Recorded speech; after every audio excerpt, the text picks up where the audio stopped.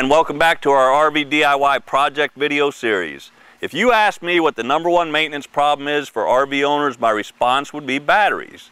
There are lots of reasons for this, like undercharged and overcharged batteries, but the real culprit is the battery discharging while the RV sits in storage. Batteries self-discharge over time and need to be monitored and recharged, but parasitic loads can drain and kill RV batteries quickly. Some RVs come equipped with battery disconnect switches that help prevent discharging, but lots of RVs don't. Today we're going to look at an easy and inexpensive do-it-yourself project that can save your RV battery and your wallet. Let's get started. If your RV isn't equipped with a battery disconnect switch, there are parasitic loads that can drain the battery.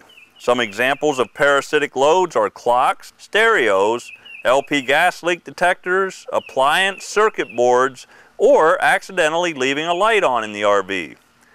A battery that is discharged and not recharged in a timely manner will be ruined long before it should be. To help prevent this from happening to you, you can install an inexpensive battery disconnect directly on the RV battery.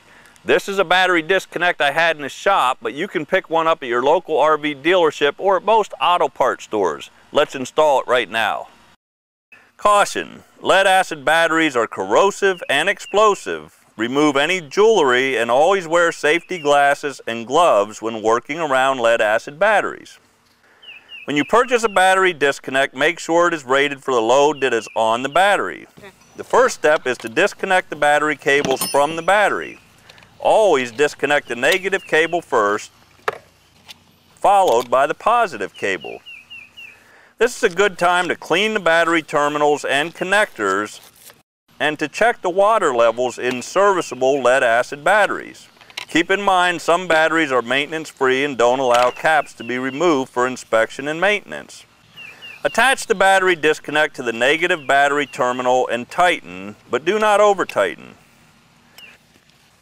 With the lever on the disconnect switch open, reconnect the positive battery cable on the battery and tighten, but do not over tighten.